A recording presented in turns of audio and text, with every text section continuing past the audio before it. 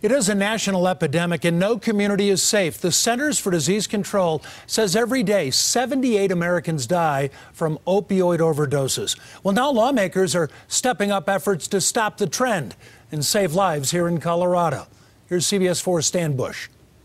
State Representative Brittany Pettersen says the opioid epidemic is personal. My mom became addicted to pain pills when I was six years old. It's why Pettersen worked to pass opioid legislation a year ago and now chairs a subcommittee that hopes to close the state's gaps in coverage and treatment, getting input from law enforcement and health providers, noting the state's problems stemming the addiction crisis. Hearing the stories of the people that are really at the front lines of this is, is incredibly meaningful. It comes as opioid cases are spreading, appearing in places they haven't before. I suspect the reason I'm hearing about it in rural areas uh, so much is that there is such a lack of uh, addiction treatment. Colorado Senator Michael Bennet testified as federal lawmakers also wrestle with the issue, seen as a major factor in the failed Obamacare repeal because significant cuts to Medicaid would hit hardest in places that rely heavily on the system. The only insurance a lot of people have in some of those counties is, or a major source of insurance,